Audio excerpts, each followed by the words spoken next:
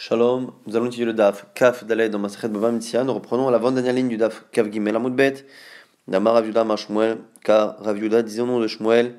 Le sujet étant Kelean Poria, que Rabbi Shimon Ben Lazar dans la Mishnah disait que c'est Kelean Poria, ces Kelim qui sont tellement neufs qu'on n'a pas besoin d'être machiz. Alors, nous dit de quel cas on parle? On parle de Kelim qui n'ont pas de siman, pas de signe distinctif. Alors, dit s'il n'y a pas de siman, c'est évident qu'il n'y a pas besoin d'être machiz. L'Agma nous dit non. C'est des kelim qui n'ont pas de siman, mais quand il n'y a pas de siman, on peut le rendre à un tamid racham s'il nous dit qu'il les reconnaît. Et ici le chidouche, c'est que les kelim sont tellement neufs, que les sont tellement récents, que la personne ne peut pas, même le tamid racham, les reconnaître. Visuellement, c'est pour ça qu'on peut les garder sans faire de chaza. Et là-dessus, au passage, la dit Damar Raviuda Banetlat Mile, Avide Rabbanan de Meshanou, Bemilayou. Il y a trois sujets Trois choses. Avider Rabbanan ou les sages, les Chachamim ont l'habitude, Milayou, de changer leurs paroles, de changer la vérité, de mentir. Des Maseret. Lorsqu'on leur demande s'ils connaissent une Maseret, un traité de l'Agmara, un sujet, par, par modestie, ils disent non. Mais s'ils doivent répondre à une question, évidemment qu'ils doivent répondre la vérité. Mais là, ici, par modestie, ils disent non. Mais pour ya, par rapport à leur lit, par rapport à leur intimité, si on leur demande est-ce qu'ils ont une intimité avec leur femme, ce genre de questions un peu euh, personnels, ils mentent pour ne pas euh, exposer leur intimité. Ou pisa, et par rapport à, quelqu'un qui invite des gens, quelqu'un qui reçoit un autre, comme si on, fait, on fait des compliments sur l'autre en disant qu'il reçoit très bien, il est très généreux et que c'est très bon, il a peur que la personne reçoive trop de demandes euh, d'être invité chez lui, et donc il ment et il ne dit pas à quel point la personne a bien reçu. Agma pose la question, Maïnaf Kamina, quelle est la Nafkamina En quoi c'est important de savoir qu'il ment sur ces trois sujets, pas sur d'autres? Marzoutra, Marzoutra répond, les adorer les Aveta Bidiauta Aina. C'est justement pour rendre au Tamil Chacham, Aina Ain, c'est-à-dire lui faire confiance lorsqu'il nous dit qu'il connaît le sujet. Si le Tamil Chacham ment sur ces trois sujets, mais qu'il n'a jamais menti ailleurs, ça veut dire qu'on considère encore qu'il a la chazaka, la présomption, que c'est un Tamil Chacham qui ne ment jamais. Et le fait qu'il mente sur ces trois sujets n'est pas du tout une preuve qu'il n'est pas honnête. Mais par contre, s'il ment dans un autre de ces trois sujets, ça veut dire que il n'est pas forcément plus néman que les autres, et donc on lui rend si un siman. S'il n'y a pas de siman, on ne lui rend pas. L'homme est ce qu'on apprend ici, qu'il y a trois domaines dans lesquels on tolère qu'un Tamit puisse mentir sans que cela atteigne et abîme la présomption que l'on a qu'un Tamit dise la vérité. Marzoutra Chassida, donc c'est ici un Amora Chassida, il give les kassa des kaspa mais pisa. Un jour il était chez quelqu'un, il était invité, et la personne qui les a reçus a perdu, on lui a volé un verre en argent. Alors lui était invité là-bas, Chazia ou Barberav, il a vu quelqu'un qui connaissait du Betamidrash, des machés des beglima, des chavri, qui se lavait les mains et qui se séchait les mains sur les serviettes de quelqu'un d'autre. Il s'est dit Amar, Hainu c'est lui, car il ne fait pas attention à l'argent, à la propriété des autres. Et donc, il a vu de cette petite action qu'il ne faisait pas attention, et donc, VOD, il l'a forcé, et la personne a fini par avouer, c'est comme ça qu'il a euh, vu que la personne n'était pas honnête. De là, on apprend au passage que même Chacha, quelqu'un qui étudie, s'il ne fait pas attention à la propriété des autres pour un sujet aussi euh, peu important qu'une serviette qu'on utilise pour s'essuyer, on voit qu'il perd sa présomption d'honnêteté, au point même qu'on le soupçonne d'être euh, le voleur. Maintenant, on a une braïta. Tanya Boner Rabbi Shimon ben Elazar, Bekelim Chadashim, Savatan Ain, que Rabbi Shimon ben Elazar, il est d'accord pour les kelim nouveaux, que ça va que l'œil a eu l'habitude de connaître. Chez Chayav l'Achiz, qu'il faut être machiz. Mais l'œil kelim chadashim, chez l'eau et voici les kelim tellement nouveaux que euh, l'œil n'a pas eu l'habitude de les connaître et ne s'est pas rassasié de leur apparence. Chez Nochev l'Achiz, Kegon, Bade, Machatin, ou Maharozot, Shel Kardumot. Alors Badé, la expliquera hein, par la suite que c'est un endroit où on accroche des choses Mahatin, c'est des aiguilles. Sinoriot, ce sont des petites euh, fourchettes. Mahaozot, shel kardumot. Kardumot, ce sont des pioches ou des pelles. Alors, ici, ce sont des kelim qu'on a l'habitude de vendre pas forcément d'utiliser. C'est pour ça que la personne ne les reconnaît pas. Ce qu'on apprend ici, c'est quelque chose de nouveau. On peut le connaître et le reconnaître visuellement, même s'il est nouveau. Mais comme ici, c'est un ustensile qui est acheté par la personne pour la vendre, la personne ne le connaît pas parce qu'il ne l'utilise pas. Nous dit l'agma, kolelu chez Amrou et matai mutarim. Tout ce qu'on a dit, quand est-ce c'est autorisé Bisman chez lorsqu'il les trouve par euh, une unité. Aval shneim shneim, mais lorsqu'il trouve plus de deux, il doit être machid parce qu'on a dit dans le davdir que le nombre d'objets qu'il y a dans un ensemble peut euh, être considéré comme un siman, comme un signe distinctif. Et donc, si a siman, il faut être machid. Amai, badé, c'est quoi badé? On dit ici, soche, ce sont des branches d'un arbre. Amai karoulé badé, pourquoi on appelle ça des branches? Badé, d'avoir des taloubé midé, parce que c'est quelque chose qui suspend, à quel on suspend des choses. Bad karoulé, kiaoud amrina comme on dit. Ale echad, bevad echad. Lorsqu'on parle là-bas de la netinat lulav, et qu'on parle de la harava, la harava nous dit qu'elle est justement kshera, en fonction du nombre de branches qu'il y a. Alechad, bevad echad, il faut qu'il y ait à chaque fois une, euh, une feuille dans une petite branche. Et donc, bad, c'est une branche. C'est la raison pour laquelle, ici, lorsqu'on parle des endroits auxquels on accroche des, euh, des fourchettes ou des, on a dit des machatines, des, euh, des aiguilles, c'est pour laquelle on appelle ces objets auxquels on accroche, on appelle ça badé, comme des branches. Rabbi Shimon ben Omer, suite de la Braïta, au nom de Rabbi Shimon ben Matzil minari au minadov, celui qui sauve un objet ou quelque chose qui est dans les mains d'un lion, d'un dove, d'un ours, namer ou du guépard, ou minabardelas, ou c'est une sorte de, ici d'animal sauvage, ou minzuto shel ou mi shliluto ou du courant de la mer ou d'un fleuve, amotse bisratia. Alors les premiers sujets qu'on a dit, c'est vraiment des, euh, des choses, des animaux, ou ici le courant marin ou le courant d'un fleuve, qui va faire en sorte que la personne n'espérera plus euh, récupérer son objet, il pensera que l'objet ne se situera jamais à l'endroit où il l'a perdu. C'est pour que la personne fait yéhouch, et donc elles appartiennent à la personne qui les trouve. Dans un genre un peu différent, Motse bisratia ou felatia. Sratia, c'est entre deux villes. Felatia, c'est dans la rue. Gedola, mais grande, où il y a beaucoup de monde. Kol sharbi mitsuim sham. endroit où il y a beaucoup de monde. Arrêt où les cholos, ça lui appartient. Et le point commun de toutes ces choses-là, soit parce que la personne pense que l'objet sera déplacé par le fleuve ou la mer, ou pris par l'animal, soit parce qu'il pense que les gens dans la rue vont le ramasser et qu'il ne le récupérera pas. Il y a Yehush, et donc la personne, la personne peut garder cet objet qu'elle a trouvé. Maintenant, on a une là, et ce sera le sujet jusqu'à la fin du DAF. Sur cet avis de Rabbi Shimon ben Elazar. Rabbi Shimon ben Elazar nous apprend, au passage à la fin de cette braïta, il nous apprend que lorsque c'est dans le domaine public, là où il y a beaucoup de monde, la personne fait Yehush parce qu'elle pense que l'objet a été ramassé. La question d'Agma, il va y où la question? Qui kama Rabbi Shimon ben Elazar? Lorsque Rabbi Shimon ben Elazar dit qu'il y a Yehush, c'est Berov Kenani? Est-ce que c'est lorsque les gens euh, qui euh, fréquentent l'endroit où on trouve l'objet sont en majorité des non-juifs Aval Berov Israël, l'eau. Mais si par contre c'est des juifs, non? Odilma, Berov Israël, Nami, Ama. Ou peut-être que ce qu'il a dit, c'est également lorsque c'est Rov Israël. En sachant que lorsqu'il y a Rov Kenanin, lorsque la majorité des gens de la ville sont des non-juifs, il y a double raison, double raison de pouvoir le ramasser. Premièrement, parce que si la majorité des gens de la ville sont des non-juifs, il y a une plus grande probabilité que l'objet trouvé appartienne à un non-juif. Et donc il n'y a pas de mitzvah de Hashavat Aveda et de Achaza. Et même si on imagine que l'objet appartient à un juif, il est fort probable, puisque la majorité des gens qui passent sont des non-juifs, que la personne fasse Yirouche en se disant voilà, c'est un non-juif qui va tomber dessus et le ramasser. Et donc c'est la raison pour laquelle on dit que lorsque Rabbi Shimon Ben a dit qu'on peut justement euh, garder cet objet-là, est-ce qu'il a dit Davka lorsque c'est Rov Kenanim, mais pas quand c'est Rov Israël, ou même. Et l'agma, du coup, continue les Sheelot. Im Kim Selomar. Et si tu voulais dire que Afilou Rov Israël Nami Amar, que ce qu'il a dit Rabbi Lazar, que l'objet appartient à la personne qui le trouve, même si la majorité des gens qui fréquentent cette euh, ville ou cette rue sont des juifs.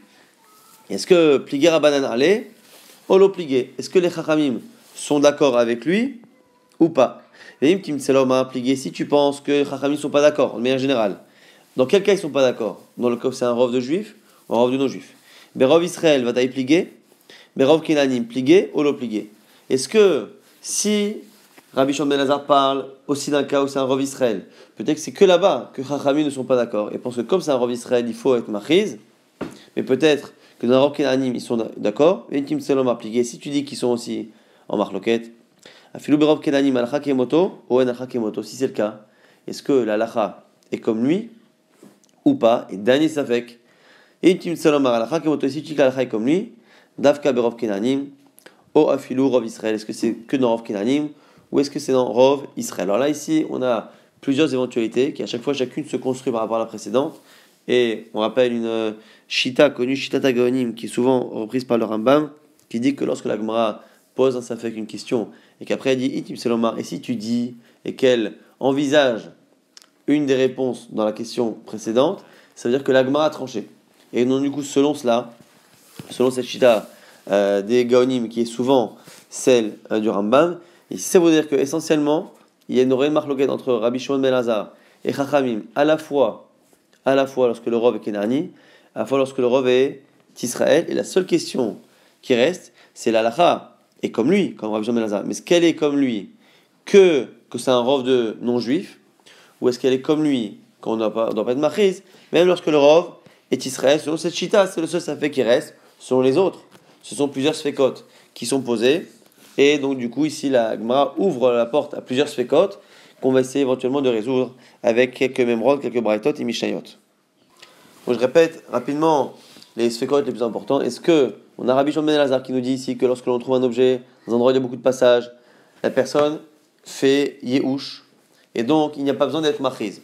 Question est-ce que ce qu'il a dit c'est d'Afka lorsque la majorité sont des non-juifs? Et donc c'est probable que l'objet appartient à un non-juif ou que même s'il appartient à un juif, il a été euh, rendu FK à la personne ne pense plus le récupérer parce qu'il pense que les non-juifs le prennent.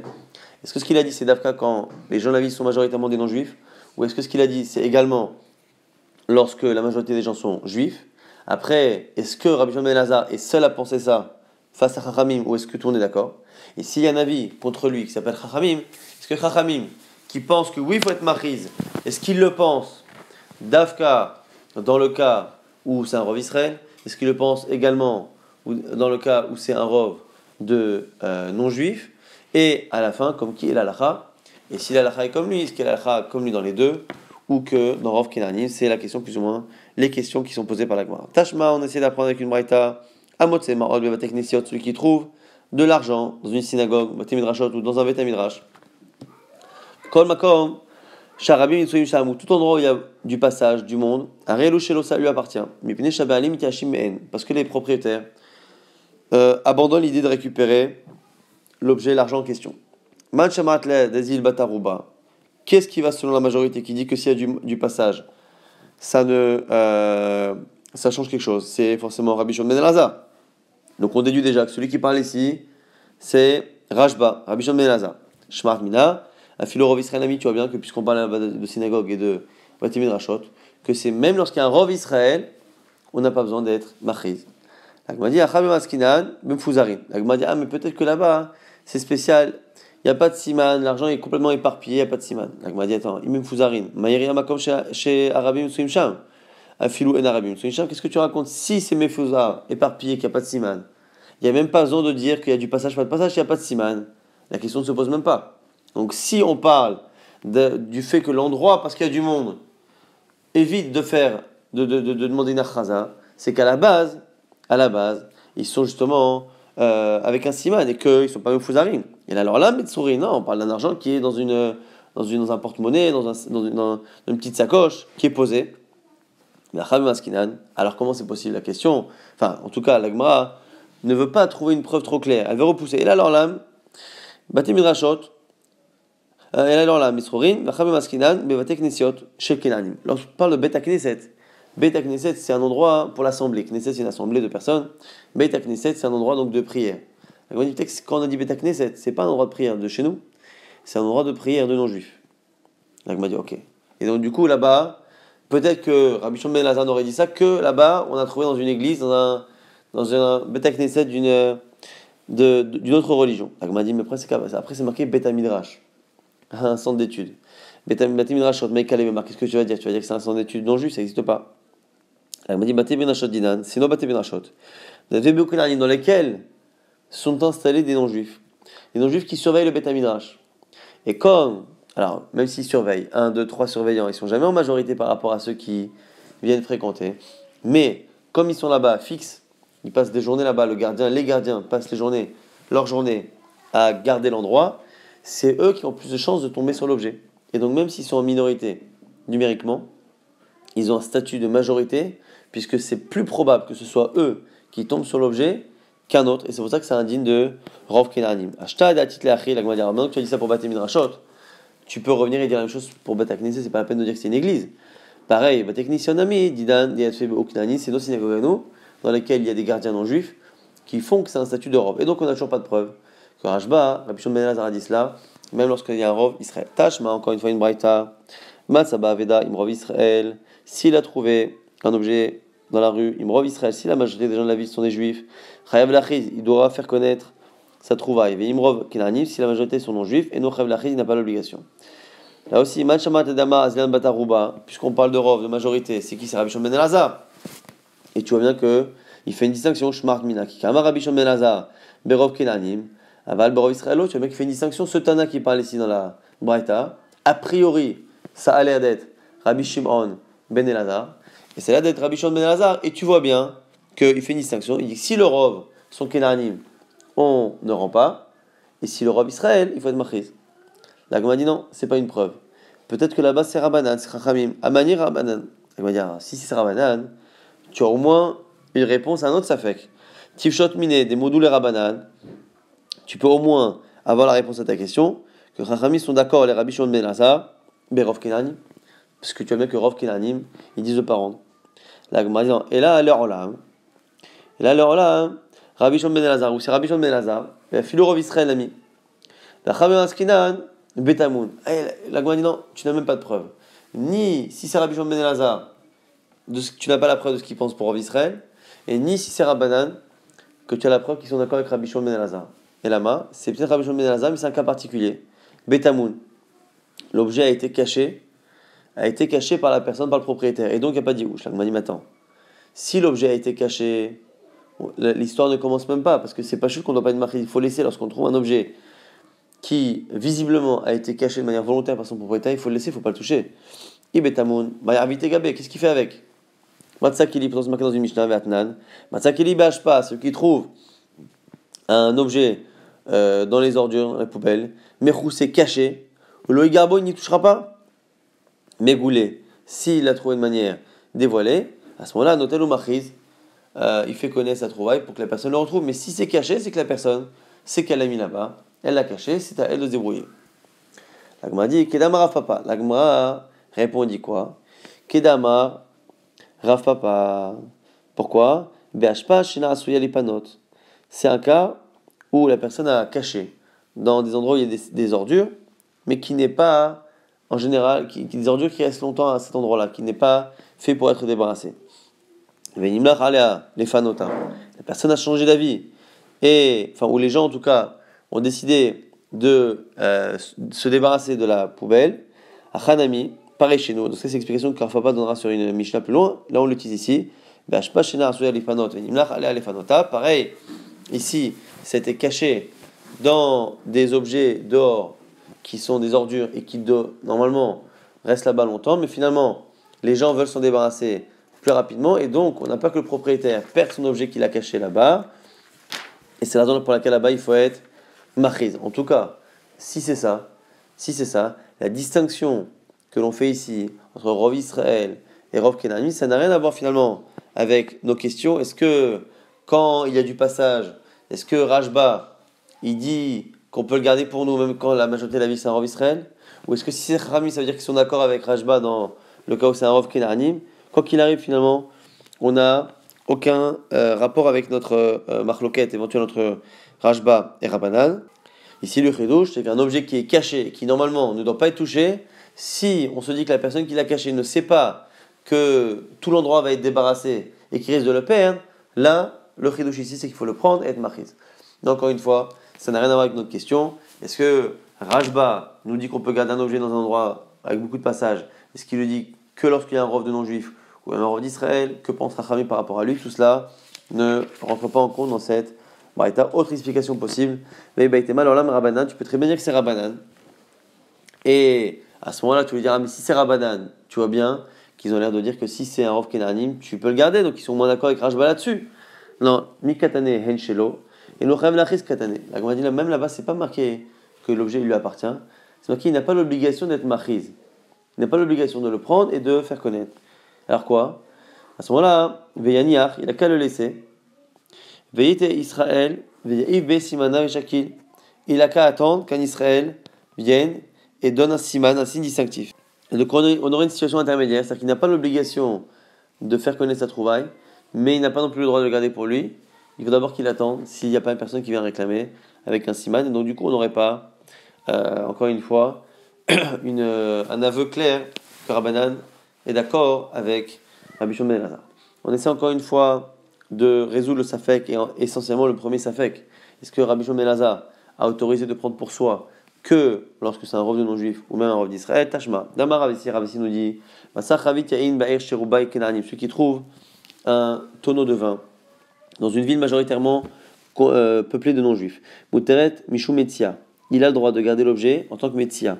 Vasurabana. Mais par contre, il ne peut pas profiter parce que le vin d'un non-juif est Asurbana, c'est Inesser. On craint que le non-juif l'ait utilisé pour faire des prières à la Vodazara et donc c'est la raison pour laquelle on ne peut pas en profiter. Donc il a le droit de le garder, mais il a interdit tout profit. La Gomara finira par poser la question. Il dit Mais si il ne peut pas en profiter, ni le donner, ni le vendre, ni le toucher, ni rien faire, à quoi ça sert finalement de dire qu'il peut le garder? En tout cas, si un juif vient et donne un siman et montre un signe qui prouve que c'est lui propriétaire. Celui qui l'a trouvé a droit le boire. Parce que maintenant, on sort de la crainte que ce soit un vin qui appartient à un non-juif et que ce soit dit Keman, comme qui va cette braïta? Rabbi Shimon ben Elazar, comme. Pourquoi? Parce que là-bas, on parle encore une fois d'une ville de majoritairement juifs et non-juifs.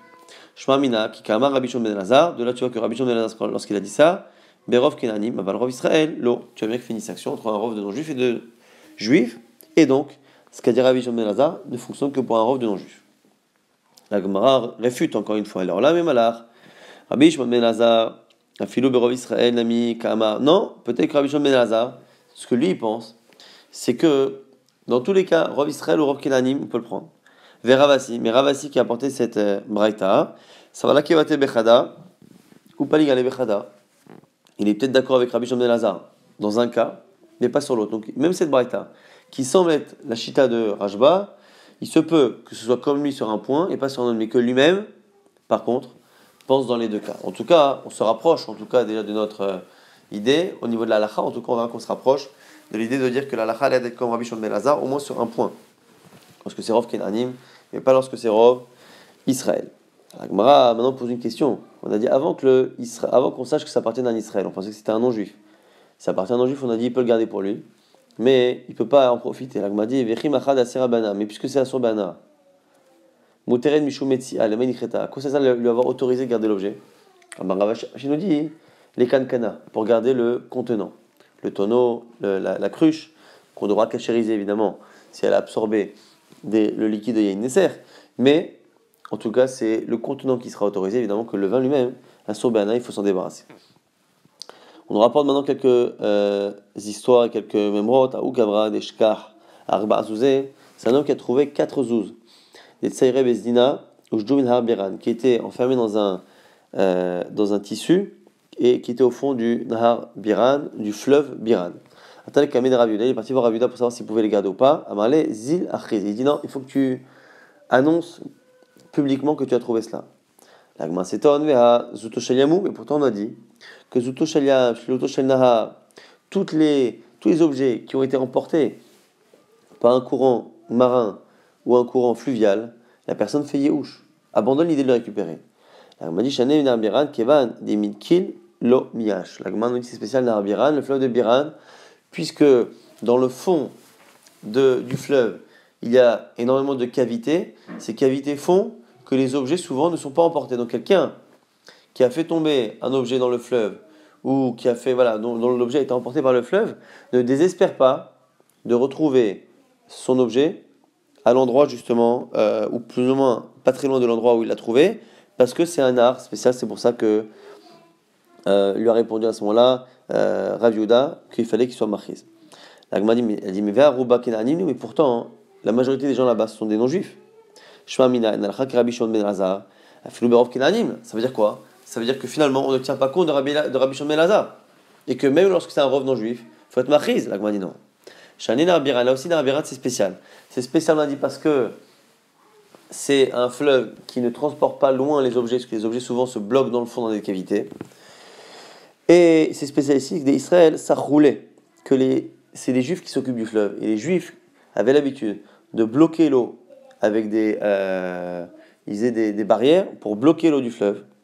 Et après, il Israël qui a roulé, et c'est les juifs aussi qui, après cela, allaient fouiller dans le fond du fleuve, une fois qu'ils avaient arrêté euh, l'eau ou détourné l'eau, pour justement nettoyer le fond du fleuve également, parce que c'était un fleuve qui avait tendance à garder beaucoup euh, d'objets et qui donc devenait sale. Et Kevan et Israël, ça roulait, et mon Israël Nafal. Puisque c'est les juifs qui arrêtent le fleuve, on se dit que c'est à ce moment-là que c'est un juif qui a fait tomber l'objet. Kevan Israël qui a roulé, puisque c'est eux qui après vont fouiller et nettoyer le fleuve, on se dit que l'homme Esh, ils se disent comme c'est des juifs qui vont là-bas fouiller, la personne ne fait pas Yehouj, donc c'est spécial. Comme c'est des objets qui a priori appartiennent à des Israël et sont trouvés par des Israël, c'est la raison pour laquelle on doit faire Achaza, et ce n'est pas une preuve qu'on n'est pas d'accord avec Rajma, parce que Rajma parle d'un endroit où il y a un rov de non-juifs, et que c'est le, ce rov de non-juifs qui a affaire justement à cet objet. Alors maintenant, la Gemara enchaîne et nous dit c'est encore une histoire Aviuda, Avashakil Ve'azil Batre de Marshmuel. Aviuda, il était en train de marcher derrière Marshmuel, Beshuka, des Bedaïsa, au chou dans lequel on vendait des, euh, des céréales pour faire daïsa, pour faire le, sorte de purée de, blé que l'on faisait. Amalé lui dit. Si on trouve ici un porte-monnaie, quel est le statut que doit-on faire? Amalé lui a dit Shmuel, Are Elushelo, il le garde. Alors, la m'a dit Ba Israël Venatan, Siman. Si maintenant un Israël, un juif vient et dit Donne un siman, donne un signe, qu'est-ce qu'on doit faire? Amalé lui dit Chav Larsir. La m'a dit faut qu'il rende. Alors la Gemara s'étonne. Lui dit Tarté, tu peux dire les deux choses. Comment tu peux dire que si tu le trouves, tu, dois le garder, tu peux le garder pour toi, mais que s'il donne un siman, à ce moment-là, tu lui rends. Si tu peux le garder, c'est que ça y est, à ce moment-là, c'est qu'a priori, il y a Yehush, parce que justement, il y a du monde. Tu as dit, je t'ai parlé de ce chouk-là. En fonction du monde qu'il y a dans ce chouk-là, est-ce que ça s'appelle un endroit où les gens font Yehush S'il a fait Yehush, c'est fini, même s'il donne un siman. La tu as raison. Amalé, il finit Mishorat Je t'ai pas dit la lacha la deuxième fois. Je t'ai dit ce qui serait bien de faire. L'ifni Mishorat c'est aller plus loin que ce qui est autorisé. Ce qui est autorisé, c'est de le garder. Alors, si la personne donne un siman, c'est-à-dire que tu sais réellement que c'est à lui, écoute, Vasta Yashar Vato tu feras le, ce qui est droit et juste et tu le donnes. Alors, qui a d'abord de Shmuel, comme l'histoire du père de Shmuel, Ashkach Anach Chamare Bemadbera, il a trouvé dans le désert des, un troupeau d'ânes il a rendu à son propriétaire. Après 12 mois. Il finit Mishwatadim, c'est dans le désert. Et après 12 mois, bien sûr que la personne a fait Yehush. Malgré ça, il a rendu ce qui sait que la personne a perdu et que la personne est attristée de, d'avoir perdu justement ses animaux. Rava Vashakil Vazil Batre de Rav Nachman. Rava est en train de marcher derrière Rav Nachman, Bishuka, des Gildae, dans le chouk, dans un endroit, un marché, où on vendait des lanières en cuir, qui disent Beshuka des Rabbanan, dans un chou dans lequel il y a beaucoup de Chachamim.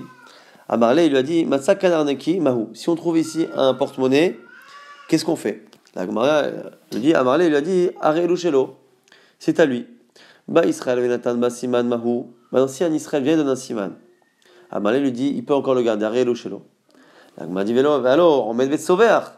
Il dit attends, mais tu vois bien qu'il crie. Et il dit C'est à lui, il a un Siman. Donc tu vois bien que s'il crie, qu'il a perdu, c'est qu'a priori il n'a pas fait Yehush. S'il est de sauver, s'il écrit, c'est qu'il n'a pas fait Yehush. S'il n'a pas fait Yehush, comment? Même si ici il y a du monde, et que le monde te montre qu'a priori il a fait Yehush, comment il écrit Tu vois mec qu'il n'a pas fait Yehush. Et donc du coup tu n'as pas pris possession Il m'a dit non, ça, pour nous, c'est comme quelqu'un qui pleure sur sa maison qui s'est effondrée, ou qui pleure pour son bateau qui a coulé dans la mer avec sa marchandise. C'est-à-dire que c'est pas parce que la personne pleure et se plaint qu'elle espère récupérer la chose. Parfois, les gens ont perdu l'objet, ont fait aux dans leur tête, mais continuent encore de se lamenter Donc c'est la raison pour laquelle ici on nous dit que le fait qu'il soit sauvé, qu'il se plaigne, n'est pas une preuve qu'il n'a pas fait Yehush. L'agma dit Haoudayo, c'est l'histoire maintenant d'un gros, euh, un gros oiseau, euh, un rapace, après des shakil, bisra, beshuka, qui a ramassé un gros morceau de viande dans la rue, dans le chouk, Veshadier, Besanyeta, des Bemarmerion. Et il a laissé euh, dans des palmiers qui appartenaient à Barmerion, il a laissé au-dessus des palmiers. Il dit si tu l'as trouvé, tu peux le prendre pour toi. Le morceau de viande, tu n'es pas obligé de, le, de faire une achaza pour faire connaître que tu l'as trouvé. Aruba mais pourtant là-bas c'est une majorité d'Israël. Mina Ben. Rov Israël. Ah, donc tu vois bien que là-bas, comme c'était une ville de Rov Israël, ça veut dire que même lorsqu'il y a un Rov Israël dans la rue, la personne fait Yehush. Même pour Ashba, la dit non, Chané. D'ailleurs, des Sheliam. La dit non, cet animal-là, c'est comme Zuto c'est comme le courant marin, c'est comme les animaux et tout. On part du principe que ce qui a été pris ne reviendra plus. Et c'est l'oiseau qui provoque le Yehush et non pas le fait que l'objet ait été perdu dans, dans la rue. Dit ah, Amar, Rav, on a un autre problème dans notre cache-route. On n'a pas le droit de consommer une viande qu'on a perdue de vue, de peur que ce soit pas la même. M'a dit, on parle d'un cas où la personne qui a vu l'oiseau prendre la viande n'a pas quitté des yeux le morceau de viande. Rabbi Chanina Matsa, Gedi Shachut, Ben Tzipori. Rabbi Chanina, il a trouvé un chevreau égorgé entre Tveret et Tzipori. Mais Tirolo, et Chamil l'a autorisé à le consommer. Amar Rabbi Amir, Rabbi Amir, Tirolo, Mishum Metsia, qui Rabbi Shimon Ben Pourquoi on l'a autorisé à le ramasser en tant qu'objet trouvé ben, C'est ce qu'on pense comme Rabbi Shimon Ben. Ishum Shrita, maintenant pourquoi on a autorisé la Shrita Qui Rabbi Hanania, Beno Rabbi Yossi, Agilili. On a autorisé la Shrita comme Rabbi Hanina, le fils de Rabbi Yossi Agilili. Pourquoi? Détania, c'est une marloquette. Aresh Abdullo Gedaya, celui qui a perdu des animaux. Et il les retrouve plus tard, les mêmes animaux, les siens, il est sûr, avec, mais ils sont shrités, ils sont égorgés. Est-ce qu'on craint que la shrita soit pas cachère ou pas? Rabbi Rabbi dit on ne peut pas le consommer, on a peur que la shrita n'ait pas été faite kazad vekadin. Rabbi Chananya Beno Matir, il pense que oui, pourquoi Est-ce que lui il a une chazaka, une présomption que Rov Mitsuyim cette shrita que la majorité des gens qui touchent à la shrita, qui font une shrita, qui égorgent, connaissent la lachot. Amar Rabbi, Rabbi nous dit, Nir in Rabbi Uda, Kshemetzaan Beashpa, Rabbi que la lacha quand Rabbi lorsqu'on trouve des animaux dans la poubelle, a priori, c'est-à-dire que euh, la shrita n'a pas rendu l'animal cachère, c'est pour ça qu'on l'a jeté. mais lorsqu'on le trouve dans une maison, dans un endroit qui prouve qu'on veut les consommer, c'est que la shrita a été bien faite. En tout cas, c'est pour ça qu'on a utilisé à Rabbi Hanina de consommer euh, ce guédi qu'il a trouvé entre Tveria et Tzipori. Maintenant, Midi Tirulo, Mishum Shrita, Rouba Israelino, m'a dit, tu vois bien que si on l'a autorisé pour la shrita, c'est qu'on pense que la majorité des gens là-bas sont des juifs pour autoriser la shrita. Si la majorité des gens sont des juifs, qu'on a autorisé la shrita, mais qu'au préalable on a autorisé aussi de le ramasser, ça veut dire qu'on autorise à ramasser un objet qui est dans la rue, et si la majorité sont d'Israël, Shma Mina, que la Chak Rabbi Ben Elazar, la Filou Israël, tu vois bien que ça veut dire que la Lacha comme Rabbi Ben Elazar, et même justement lorsque c'est Rav Israël, l'Agmara repousse Amarava, Rov Kenanim, et Rov Tabachim Israël. L'Agmara dit non. Tu peux très bien imaginer que le Rov des gens qui font la shrita, qui égorgent, le Rov des, des, des, des, bouchers ou de ceux qui égorgent sont des juifs et connaissent la halachot de shrita, mais que dans la ville, le Rov sont des Kenanim, et donc du coup on n'a pas la preuve de ce que pense Rajba, ou de ce que l'on pense nous par rapport à Rajba quand c'est un Rov Israël. Rabbi Ami Ashkar, par Guillaume Routot, Ben et Tzipori. Encore une fois, entre Tival et Tzipori, c'est Rabbi Ami cette fois qui a trouvé des petites volailles égorgées. Tel Kami de Rabbi Assi, parti voir aller les Kama de Rabbi Yochanan, il y a qui disent c'est devant Rabbi Yochanan qui l'a demandé. Amrela, il y a qui disent que c'est au Beth Midrash, Ben Midrasha, Amroulé, Zish Kol Nafshar, va les prendre. Rodma, c'est encore une histoire pareille. Rabbi Yitzhak Nafra, Ashkar Kibura de Azlebe, Azlouye. Il a trouvé euh, des fils qu'on utilisait pour faire des, des, des pièges, des, des filets. Atal Kame Rabbi Yochanan, il partit voir Rabbi Yochanan, Amrena Ineki Sebe Minasha, Amoulé, Zil, Shekol, Menachar. Là aussi, tu peux les prendre pour toi, même si on ne sait pas. Certains veulent dire ici que c'était un cas où il y avait un rov de juif et que donc du coup on aurait une réponse à la question, mais en réalité, l'Agma ne tranche pas très clairement. On va essayer de résumer ce DAF qui était chargé, riche, mais qui finalement au niveau conclusion, malheureusement, puisqu'on n'a pas de conclusion claire de l'Agma, n'est pas si compliqué à résumer, on a établi la suga sur euh, Kéléan Poria, c'est des kélim qui sont assez récents pour euh, dire que la personne ne les connaît pas. On avait dit qu'à Tamit Chacham, on, on lui faisait confiance parce qu'il nous dit qu'il connaît l'apparence de l'objet, et même s'il n'y a pas de siman, on le rend Betirot Ain. On avait dit à une condition, c'est que le Tamit Chacham n'est jamais endommagé. La présomption que l'on a qu'il soit honnête. La présomption qu'il a qu'il soit honnête, c'est quand il ne ment pas. La seule exception que l'on peut tolérer pour le mensonge, c'est qu'il mente par rapport à sa sagesse, par modestie, qu'il mente par rapport à euh, son intimité par pudeur et euh, qu'il mente par rapport au compliment qu'il fait sur un, quelqu'un qui l'a invité parce qu'il veut éviter de causer une perte à quelqu'un. Donc il peut mentir sur ces trois sujets, pas plus, sinon il perd sa présomption d'être honnête et on ne lui rend pas philo aïn l'objet. On a dit qu'il y avait euh, les animaux sauvages ou le fleuve ou la mer qui emmenaient des objets, la personne fait youch. Chidouche de Rabbi Shimon Ben c'est lorsque l'objet est dans un endroit où il y a beaucoup de passages. La personne fait Yehush. Et la question sur laquelle on intéressé pendant tout le DAF, c'est est-ce que Rajba dit que l'on fait Yehush que lorsque la majorité des gens de la ville qui passent sont des non-juifs, ou est-ce que même si c'est des juifs? Et après, est-ce qu'on pense comme lui dans l'un? Est-ce qu'on pense comme lui comme l'autre Dans l'autre? A priori, ce qu'elle a doit sortir, c'est que quand c'est un rov de non-juifs, on pense comme lui, comme on avait avec Rabbi Assi. Et si c'est un rov Israël, ça n'a pas l'air encore d'être évident à la fin du DAF. Et l'Agmar a apporté énormément de Memrod, de Braïtot, de Mishnah pour essayer de prouver ce qu'il pense lui, ce que pense Rabbanan. Mais encore une fois, la majorité des questions restent entières, si ce n'est que l'on pense qu'au moins il a dit ça quand la majorité sont des non-juifs, et quand sont des non-juifs, on pense comme lui, parce que la majorité sont Israël. On ne sait pas exactement comme qui possède, comme Rabbanan ou comme euh, Rajba. Si lui pense effectivement aussi qu'on dit ça dans Rav Israël, on a vu que dans les fleuves, on avait une distinction que certains fleuves, comme euh, Biran, c'était un fleuve qui avait des cavités telles que l'objet ne partait pas. Après, on a vu aussi qu'un oiseau qui emmenait un, objet, c'est aussi considéré comme étant euh, comme le fleuve qui l'emmène, donc la personne euh, fait Yéhouch. Et on a vu également une petite distinction intéressante c'est lorsqu'on parle de majorité de juifs ou de non-juifs, c'est pas forcément le nom qui détermine, c'est aussi le comportement et le, le, temps passé. C'est-à-dire que dans un Beth Midrash, dans une synagogue, où il y a beaucoup plus de juifs qui passent, mais qu'il y a quelques non-juifs en minorité qui y passent la journée, on a plus de chances que ce soit eux qui tombent sur l'objet, et donc les gens vont faillir ouche comme si c'était Rov qui n'anime. Et à l'inverse, on a vu dans une région où il y avait des Rov de non-juifs, mais dans un fleuve où c'est les juifs qui ont l'habitude de la sécher et de le nettoyer, là, dans la tête des gens, c'est Rov Israël, qu'il y a une plus grande probabilité que ce soit des juifs qui trouvent les objets ou qui les perdent que des non-juifs. Donc quand on parle de Rov, de majorité, c'est pas forcément au niveau numérique, mais c'est relatif et c'est plutôt au niveau de la probabilité euh, de trouver ou de perdre l'objet là-bas.